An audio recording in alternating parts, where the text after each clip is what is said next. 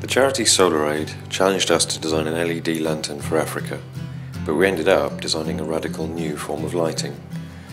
I'm Jim, and this is Gravity Light. We set out to design a light that could replace the ubiquitous and damaging kerosene lamps widely used in remote areas of Africa. The light was to contain a battery and be recharged from a solar panel. The further the project progressed, though, the more we felt there was an opportunity for a more radical approach, which better answered the problem.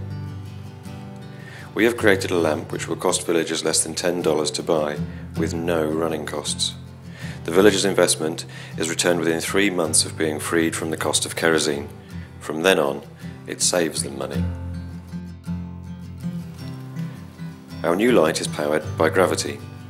The seconds it takes to lift a weight creates enough energy for half an hour of light whenever it's needed. It has no batteries to run out, replace, or dispose of. We have designed Gravity Light to power other things as well, such as a reading light, a radio, or simply to recharge batteries.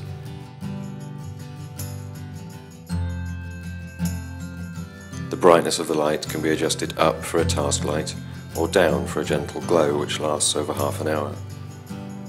It is delivered in a durable fabric bag which when filled with rocks, sand or earth provides the weight to power it.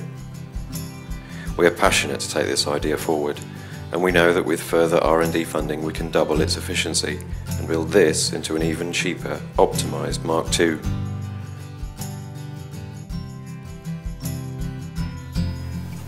So we hope you like our idea. It's taken a lot of work to get it this far, but now we really need your help to make it real.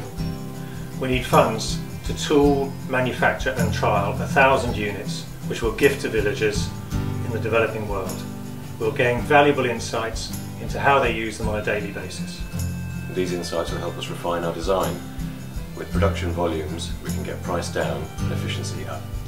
Meaning that in the future, villagers can purchase a gravity light for less than $5.